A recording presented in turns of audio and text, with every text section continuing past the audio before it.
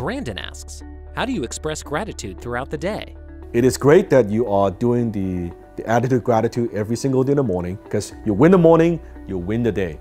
And throughout the whole day, just knowing that seriously nothing is that important and nothing really is that stressful. And then you pay attention to the little things in life and you find, hey, what can I learn from this? By shifting the question. When you face something stressful, instead of, why is this happening to me? What can I learn from this?